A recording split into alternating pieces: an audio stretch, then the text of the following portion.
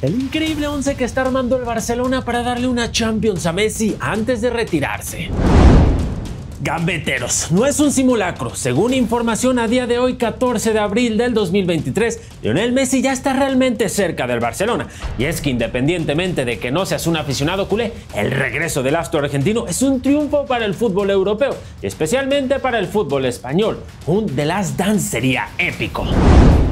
Pero el fichaje de Messi solo sería el inicio, ya que el Barça planea tirar la casa por la ventana y rodear al argentino de jugadores top, con los que pudieran intentar al menos una última vez conseguir el trofeo más esperado para la afición culé, la Champions League.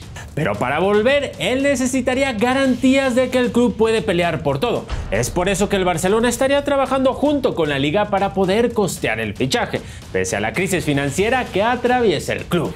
La portería seguiría en manos del siempre confiable Marc-André Ter Stegen, quien esta temporada está rindiendo a un nivel espectacular.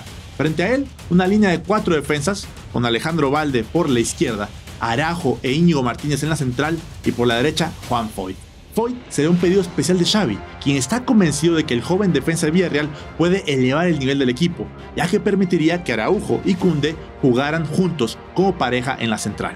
Aquí el perjudicado sería Andreas Christensen, quien a pesar de ser un jugadorazo, el club tendría que darle salida para recaudar dinero necesario para cerrar todos estos fichajes. Como mencionamos anteriormente, el club preferiría conservar a Koundé debido a su polivalencia para jugar tanto como central como de lateral por derecha, dejando al lado al danés. Esto sería bastante triste por el gran nivel que ha mostrado, pero urgen ventas en Barcelona y el danés atraería buenas ofertas, aunque al momento se dice que no lo dejarían salir, pero no es imposible.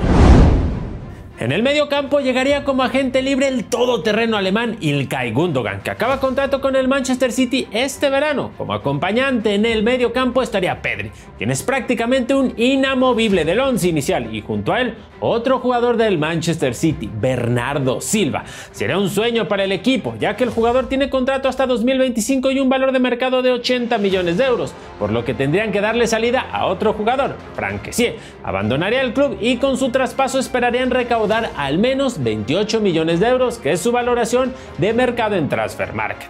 Otro punto que debemos aclarar es que muy probablemente Frankie de Jong sería titular en el medio campo, pero ponemos estos tres en la alineación titular para mostrar a los nuevos fichajes.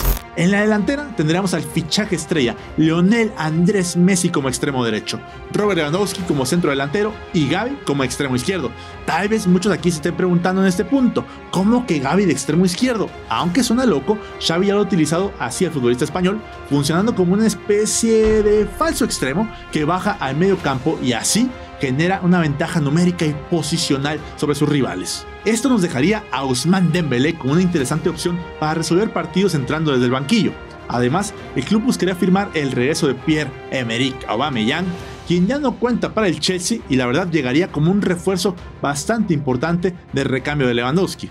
El perjudicado entonces sería el extremo brasileño Rafinha, que de nuevo es un gran jugador y está rindiendo a un gran nivel, pero el club estaría forzado a prescindir de sus servicios para recaudar fondos para esta renovación del Barcelona. Y según información de Sport, el Chelsea sería uno de sus máximos pretendientes y estaría dispuesto a pagar una cifra cercana a los 58 millones de euros, que fue lo que el Barcelona pagó al Leeds United para hacerse con los servicios del brasileño.